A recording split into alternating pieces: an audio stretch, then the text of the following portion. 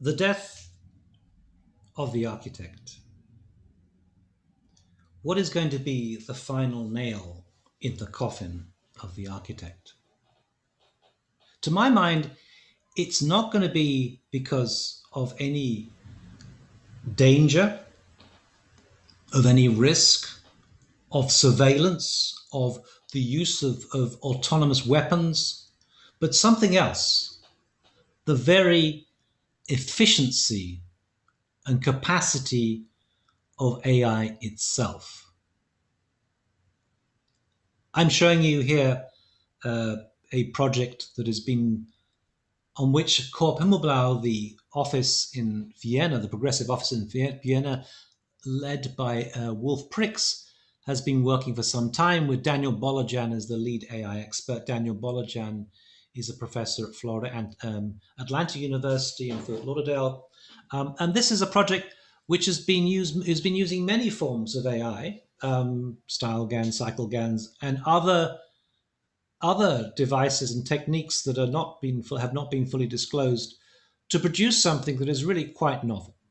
This is what uh, you can hallucinate through AI and and produce some form of architecture totally automatically, totally automatically. This is one of the most uh, impressive and astonishing examples, but there is much more to come. If we are to believe Ben Bratton, we are still in the silent movies period of computation. In other words, think back about the silent silent movies of you know Charlie Chaplin and all those things, or even before Charlie Chaplin. There, Buster, uh, Buster Keaton, so on. They, things have moved on so much. If you think about the cars they had in, in the ages of the, uh, the age of, of, the, of the silent movies and what we have now, things have moved on, but we are still in the silent movies period of computation, and even earlier when it comes to AI. So, what will AI bring to us? What we can see now is just a shadow of the potential of what AI can do. That much we know. It is going to become even more powerful and even more impressive over the years. So, what will happen to the architect when AI becomes really capable, when it really has that potential to automatically design buildings for us? What happens then? To my mind, the, the most useful analogy is that of the self driving car. It's useful for many reasons. It's useful because it suggests that the way that change happens is incremental. Those of you who either own a, Tesla or know people who own a Tesla will probably know already that the way that these things get uh, become self-driving is through upgrading of the software gradually, gradually, gradually until at one point you begin to realize that it is self-driving. It's a bit like boiling a frog, you just don't notice it. If you want to boil a frog, I've never boiled a frog, but you, apparently there's no point dropping into boiling water because it'll leap out again. Put the frog in, in some tepid water and gradually increase the heat, the frog will never notice. At least that's the theory. And this, in many ways, is, is, is a very useful way of thinking about what will happen with self driving cars. Toby Walsh is a computer expert who wrote a book called um, Machines That Think. Actually, Machines That Think is a terrible title because machines don't think, right? They do not have consciousness, they do not think, they don't, there are a lot of things they don't do. But, and they, they might learn, but they don't learn the way that humans do, and so on. Nevertheless, despite the title of the book, there are some interesting observations that he makes he offers a series of predictions about the future, actually, many of which are not very straight, uh, quite, quite obvious in many ways. But the one I really like is his prediction about the future of the car. Now, what he makes, the comment he makes, it is going to be sort of a gradual process. And it'll be, there'll be a number of different factors involved in it that will dictate the fact that actually, in the end, we won't be allowed to drive cars anymore and we will not notice or even care. His point is this as self driving cars become more convenient, and we'll probably find that Ubers and Lyfts and all those other kind of uh, vehicles uh, that constitute taxi these days, they will probably become self driving too fairly soon. So as we self-driving cars become more uh, available, reliable, and frankly easier, we will use them more and more. But the consequence of that is as we use self driving cars more and more, we will lo- lose certain skills, namely the skill of driving. And that happens already. I mean, I, when I was young, I used to win the prize for choreography, for, for, for sorry, for, for, for, sorry, for handwriting, um, calligraphy. I used to win the prize at school for handwriting. Now I type everything I can't even write. I can't read my own writing. We lose skills unless we keep developing, keep practicing them. So the point that Toby Walsh is making is that we will lose our driving skills. And what will be the consequence of that? It will be that insurance premiums will go up for people who insist on still driving their cars. And eventually you'll think, ah, it's more convenient to have a self driving car. It's going to cost me too much anyway to get insured to go and drive my own car. I won't bother. And the beautiful comment about this is he said, we will not notice or even care. It will gradually, gradually, gradually creep up on us, and like the frog being boiled, we won't even notice it. Now, you might object and say, of course we'll notice it. Of course we will see those things happening. But let me put to you the situation that I experienced myself when I was a student at the University of Cambridge. I can recall what it was like to go on a, on a holiday somewhere. First of all, I would queue up at STA Travel, the student travel organization, and you'd wait in line, and then eventually you would give your details to someone behind the counter and tell them when you want to go and where you wanted when you wanted to, to fly and where you wanted to fly to. Then she, he or she would give you a series of options, and you would agree on one, and then you'd um, you'd you'd book the ticket. And two days later, it'd come to you by post. That's the way that would happen. Meanwhile, you'd go off to a camera shop and you'd go and pick up some film to take with you. And then when you came back from your holiday, you would develop the film. You get it processed. Now, where are all those industries now? There are some travel agents, but most people book their flights online, and you might not have noticed, but travel agents have all but disappeared. Processing of films, they've completely gone. Nobody ever gets their films processed because we all have, have digital cameras now, or more importantly, we all have mobile phones, cell phones that have cameras every bit as good as the cameras we had in the past. Another victim then of this progress has been the camera shop. The high street, main street camera shop has all but disappeared. Now, these things happened. I didn't really notice them. I just looked around and said, where have all the camera shops gone? Where have all the travel agents gone? It's fairly clear this is going to be the logic of how things go. So let's think about architecture. Um, what has become clear, and I just shown you the deep Himmelblau thing, that, that these AI, this, this AI can really generate interesting forms and do it in a very intelligent way. Um, there's still progress to be made, of course, but they can do those things. They can design buildings for us. Now, if you put that alongside other things that are happening today, where our, whereby our tastes have been all recorded as data somewhere.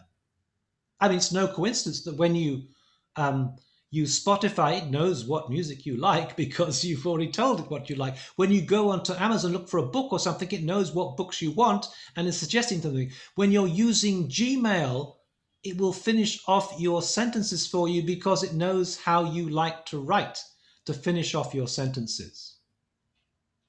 AI can track and record all your preferences.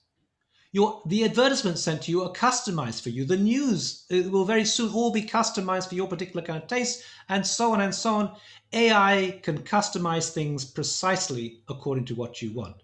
In other words, it's not simply a question of whether a, a, um, AI can design a building.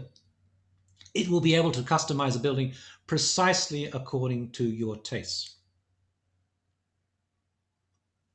And then let's put this in context.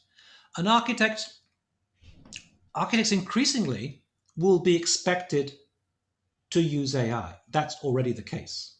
Already clients are saying, We want you to use AI.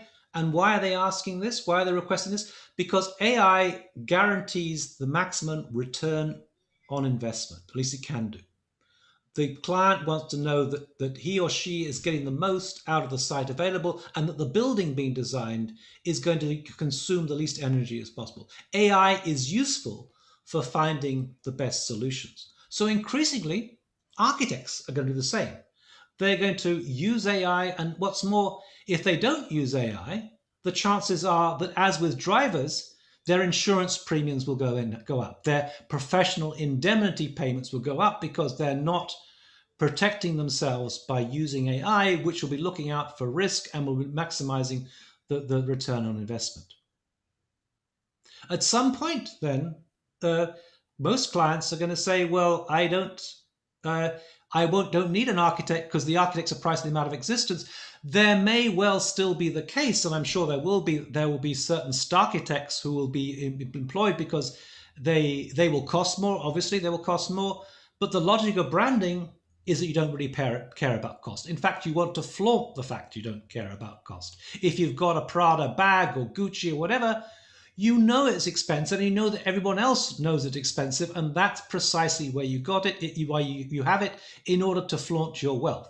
So i'm sure there will still be a place for certain architects and also for, for, for certain architects architects because the client wants to be able to display how they've commissioned a, a very famous architect. And also one could say that maybe in other cultures less advanced technological cultures this these advances are not going to happen at pace with advanced Western societies. But nonetheless, it's clear to me that this is the way that we are heading. The very triumph of AI, the very capacity of AI to produce such amazing buildings will the very bright side, the, the, the, the bright side of AI will also potentially be the dark side of AI. Here is a, an analysis done by Wanyu He of XKool about how she sees the way um, things are going to be operating. If you can see this graph as kind of the amount of effort put in, and we started off with humans, and initially it was it was human beings doing all the work, and eventually, according to her her um, um, prediction, it's going to be machines doing all the work, and I can imagine that. But according to her graph, this is going to be the consequence of that: is humans have more time, that they will be able to go and um, do other things, spend more time on the design process and so on, because the machines do all the, the menial work for us. And that's certainly the view of, of, of architects such as uh, Wolf, Wolf Prix from Coop Himmelblau. He imagined the possibility of going off to some, some island somewhere and, and having a holiday while AI is doing all the work. I would question that. I would question that because I'm not so sure that clients will put up with that. My, I'm more I'm more convinced that actually as as was predicted um, elsewhere, um, that in fact what's going to happen by by by Ford and his and the rise of the robots is that actually because of competition, no one's going to be paying for for, for Wolf Prix to go on his holiday. They're going to be basically thinking I can get this done more efficiently um, by using these machines.